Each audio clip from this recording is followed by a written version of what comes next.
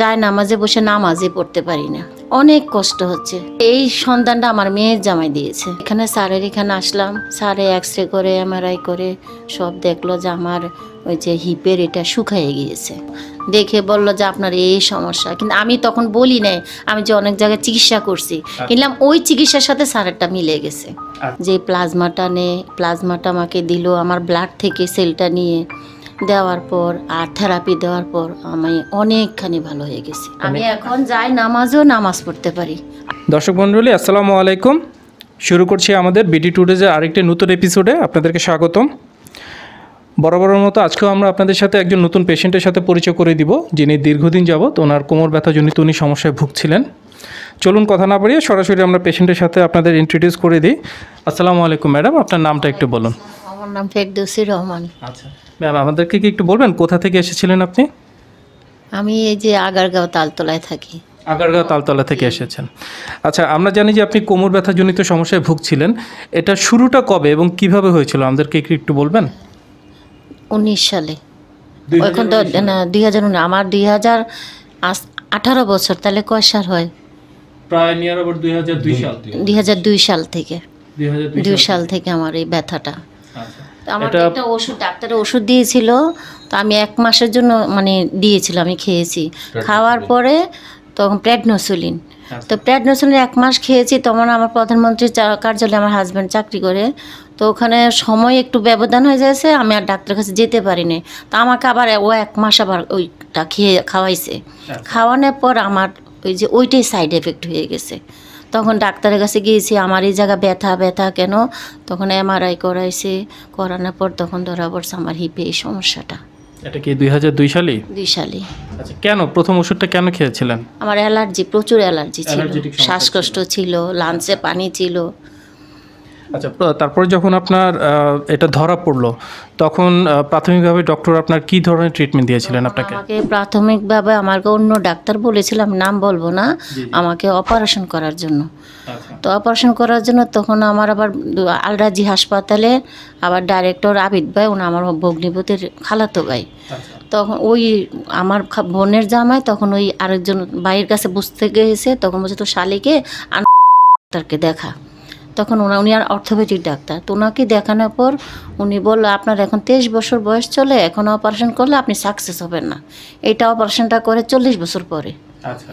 তখন উনি আমাকে মেডিসিন দিল। এই যে দুধের সাথে ইঞ্জেকশন খাওয়া অনেক মেডিসিন দেওয়ার পরে আমারটা অনেকখানি রিকভারি হয়েছে। আচ্ছা। আর বলছে হ্যাঁ ব্য- ব্যথা কমে গিয়েছে। তো এইভাবেই আমি ডাক্তারের ইয়াতে আস- আসি কি। প্রায় সময় ওনার কাছে যাই উনি মেডিসিন দিয়ে খাচ্ছি। কিন্তু আস্তে আস্তে আমার এটা দেখলাম আস্তে আস্তে আমার এটা ব্যথা বাড়ে কমে। কিন্তু আমার দেখা যা ক্রমান্বয়ে আমি না যাই নামাজে বসে নামাজে পড়তে পারি না। আচ্ছা। অনেক কষ্ট হচ্ছে। পরে এই সন্ধানটা আমার মেয়ের জামাই দিয়েছে। আচ্ছা। তো দেওয়ার পরে এখানে স্যারের এখানে আসলাম। স্যারে এক্স রে করে এমআরআই করে সব দেখল যে আমার ওই যে হিপের এটা শুকায়ে গিয়েছে। এরপরে স্যারে আমাকে ইঞ্জেকশন দিল যে প্লাজমাটা নে প্লাজমাটা আমাকে দিল আমার ব্লাড থেকে সেলটা নিয়ে। দেওয়ার পর আর থেরাপি দেওয়ার পর আমি অনেকখানি ভালো হয়ে গেছি। আচ্ছা। আমি এখন যাই নামাজও নামাজ পড়তে পারি। আজকে কদিন ট্রাই করেছি আমি যাই নামাজে নামাজ পড়তে পারি। আচ্ছা ম্যাম আপনি আমাদের সাথে যেটা শেয়ার করেছেন যে গত আঠেরো বছর আগে প্রথম আপনার কোমর ব্যথা যখন শুরু হয় একটা ওষুধ খাওয়ার পরে যেটা আপনার অ্যালার্জির জন্য আপনি প্রথম খেয়েছিলেন এবং সেটা সাইড এফেক্টের কারণে পরবর্তীতে আপনার কোমর ব্যথা প্রথম শুরু হয় এবং আপনি ক্রমান্বয়ে বিভিন্ন ধরনের ডক্টরের আপনি বিভিন্ন ট্রিটমেন্ট গ্রহণ করেছেন। এক পর্যায়ে একজন ডক্টর আপনাকে অপারেশন করার কথা বলেন কিন্তু আপনার পরিচিত একজন ডক্টরের সাজেশনে আপনি সেই অপারেশনটা না করে আপনি দীর্ঘদিন যাবৎ ওষুধ খেয়ে আপনি এতদিন ছিলেন। ছিলাম। আচ্ছা তো পরবর্তীতে আপনি দেখেছেন যে আপনার ওষুধ আপনি খাচ্ছেন যখন ছেড়ে দিতেন তারপরে কি ব্যথাটা আবার ফেরত আসতো? এই ধরনের ঘটনাগুলো ঘটতো? আবার ব্যথা হতো। আচ্ছা। কয়েক মাস ভালো থাকতাম আবার ব্যথা হতো। আচ্ছা। তো এটার জন্য আপনারা বিভিন্ন জায়গায় বিভিন্ন ধরনের ওষুধ তার মানে আপনি গত আঠারো বছর যাবত আপনি খেয়েছেন কিন্তু আপনি পর্যাপ্ত কোনো ফল আপনি পাননি। আচ্ছা একটু জানতে চাইব আপনার কাছে আমরা জানি আপনি ডক্টর মোহাম্মদ শফিউল্লাহ প্রধান ওনার আন্ডারে থেকে আপনি ট্রিটমেন্ট করেছেন। স্যারের বিষয়টা প্রথম জানতে পারেন কীভাবে? আমার মেয়ের জামাই মেয়ের জামাই ইউটিউবে দেখেছে দেখার পর আমি এখানে আসছি কি। আচ্ছা এই আসার পর যখন স্যার আমাকে সব দেখল দেখে বলল যে আপনার এই সমস্যা। কিন্তু আমি তখন বলি নাই আমি যে অনেক জায়গায় চিকিৎসা করছি। কিন্তু ওই চিকিৎসার সাথে স্যারেরটা মিলে গেছে। আচ্ছা আচ্ছা।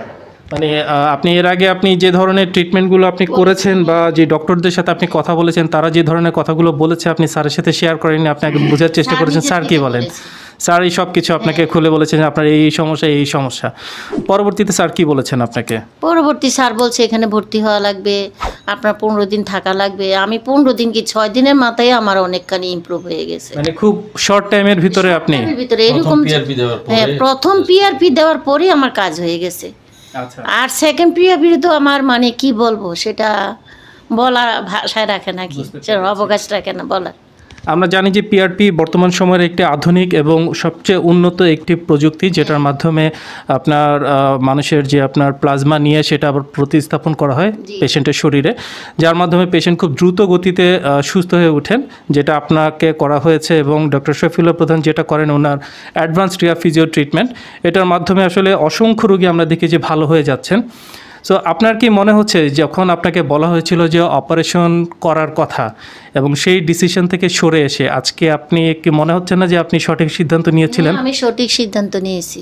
সেইটাতে, সেই অপারেশন থেকে সরে এসে আমি যে আজকে এই জায়গায় এসে সঠিক সিদ্ধান্ত পাইছি, চিকিৎসা পেয়েছি, আমি অনেক লাকি আচ্ছা। ম্যাম আপনার কাছে আমরা আসছি। আমরা এখানে দর্শক মন্ডলী ওনার হাজব্যান্ডকে পেয়েছি। আমরা একটু ওনার সাথে একটু কথা বলি একটু পরিচিত হই। আসসালামু আলাইকুম স্যার। আপনার নামটা একটু বলুন। ওয়ালাইকুম আসসালাম। আমি মোহাম্মদ মিজানুর রহমান। আচ্ছা স্যার কি এখন রিটায়ার করেছেন নাকি এখনও কর্মরত আছেন কোথাও? আমি গণপূর্ত অধিদপ্তরে এখনও কর্মরত আছি। আচ্ছা। স্যার, আপনার কাছে আমরা একটু জানতে চাইব, ম্যাডাম যেটা বলেছেন যে গত আঠারো বছর আগে উনি সবার প্রথম ওনার কোমর ব্যথা ওনার শুরু হয় এবং তার পরবর্তীতে বিভিন্ন ডক্টরের বিভিন্ন ধরনের ট্রিটমেন্ট উনি নিয়েছেন। কিন্তু আসলে যেটা সঠিক ট্রিটমেন্ট ওনার পাওয়ার কথা ছিল, সেটা উনি পাননি এবং গত আঠারো বছর যাবত উনি এই কষ্টের ভিতর দিয়ে ওনার দিনাতিপাত উনি করেছেন। তো আপনি ওনাকে পূর্বের এবং বর্তমান দুটাতে কেমন পার্থক্য দেখতে পাচ্ছেন? আসলে কি বলা বাহুল্য, আমি আসলে সারাদিন অফিস করে যখন সন্ধ্যায় বাসায় ফিরতাম, তখন যখন তার ব্যথাটা এসে দেখতাম, তো আমার কাছে আসলে খারাপ লাগতো যে তারে আমি প্রপার ট্রিটমেন্ট করতে পারতেছি না। বিভিন্ন ডক্টর থেকে বিভিন্ন ওষুধ খেয়ে খাওয়াইছি ওকে, কিন্তু ওইভাবে ইমপ্রুভ হয় না। হয়তো সাময়িক ইয়ে হয়, কিন্তু পুরা কিউর হচ্ছে না সে। পরবর্তীতে লাস্টলি আর কি, এই যে কিছুদিন আগে আমার মেয়ের হাজব্যান্ড ও ও ইউটিউবে মেবি ওইটা দেখেও আমাকে বলো যাবু, এখানে যান, এখানে এই ট্রিটমেন্টটা ভালো হয়। সেই শরণাপন্ন হয়েই আমি কিন্তু এখানে আসছি আপনাদের ডিপিআরসি হাসপাতালে এবং এসে বিগত দিন আমি এখানে আপনাদের হাসপাতালে থেকেই আমি কিন্তু অফিস করছি গত এগারো দিন। তো এখানে যে ট্রিটমেন্ট এবং আপনাদের যে ব্যবস্থা, ব্যবস্থাপনা, আসলে খুবই সুন্দর এবং বর্তমানে চিকিৎসা বিজ্ঞানে যে আসলে এত উন্নত আমার আসলে এটা জানা ছিল না। এই সার যেইভাবে পিআরপিটা মানে ইমপ্লিমেন্ট করেন রুগীর শরীরে। আমি কিন্তু সেখানে ছিলাম আপনার মানে স্যারের রুমে যে যেইভাবে উইদিন শর্ট টাইমে এত বড় একটা জিনিস পিআরপি অর্থাৎ প্লাজমা থেরাপিটা করতে পারেন উইদিন এক মিনিট লাগে না।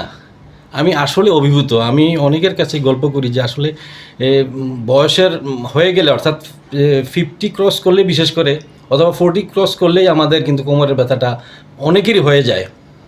তো সেখানে অনেকেই অনেক জায়গায় যেয়ে কিন্তু অপারেশন করে কিন্তু এটা সাকসেস হয় না। তো আমি এখানে এসে আসলেই লাকি যে আমার ওয়াইফকে আমি কিউ করতে পারছি।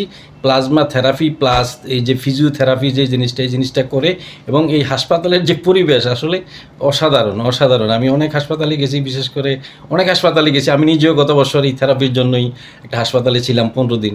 তো আমি আসলে কি বলব? আমার বলার কিছু নাই আর।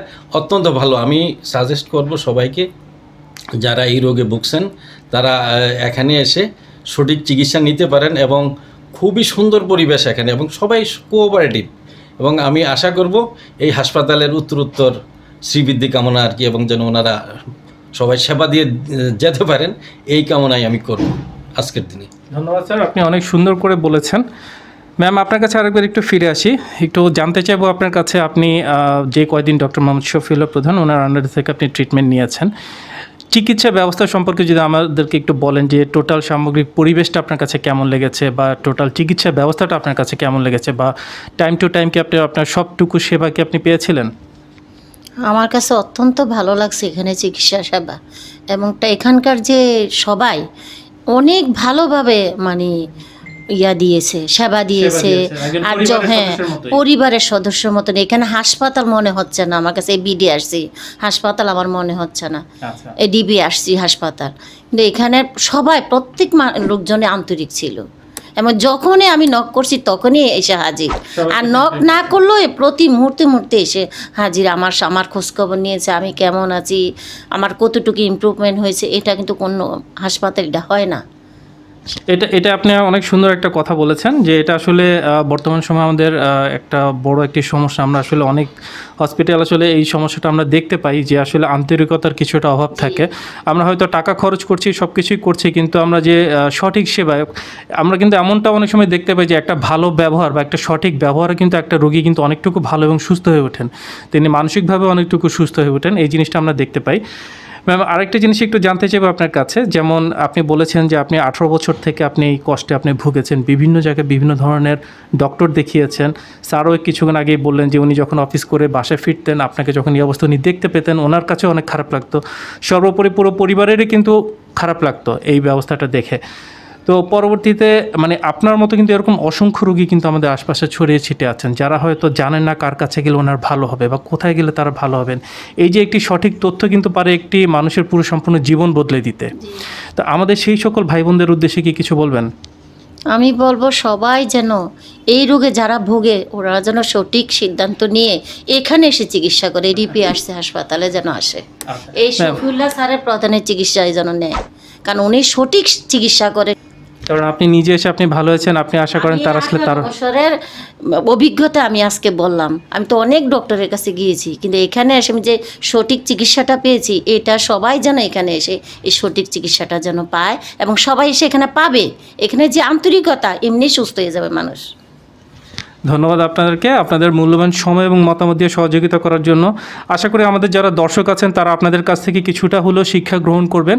যে একটি সঠিক সিদ্ধান্ত একটি মানুষের যে সম্পূর্ণ জীবন বদলে দিতে পারে, সেটা সবচেয়ে প্রকৃষ্ট উদাহরণ হচ্ছেন আপনারা। ধন্যবাদ আপনাদেরকে, আসসালামু আলাইকুম। দর্শক, আপনাদেরকে অসংখ্য ধন্যবাদ। আসসালামু আলাইকুম। সবাইকে আস- আসসালামু আলাইকুম দিয়ে বিদায় নিচ্ছি। সবাই যেন এই সঠিক চিকিৎসাটা পায় এখানে এসে এটার জন্য সবার জন্য কামনা রইল। আর এই ডিপিআরসি হাসপাতালে সবার জন্য আমি কৃতজ্ঞতা রয়েছি। আমি সেবা যে পেয়েছি আমি যে সুস্থ হয়ে বাসায় যাচ্ছি আমি সবার কাছে কৃতজ্ঞ। ধন্যবাদ। আসসালামু আলাইকুম।